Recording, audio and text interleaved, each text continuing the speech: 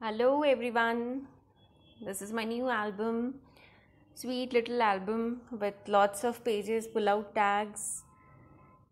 Uh, so each pages has a background stamping, glitters, and also each pages each page has a pocket where you can have journaling tags. I have provided with a tag for the photographs. You can do journaling also, write messages, just fill in the way you want. So if you turn on the pages, you can see it's mostly in um, cream color, orange color and background stamping, glitters. So this is a really sweet, simple, cute and quick album which you can make and gift your loved ones.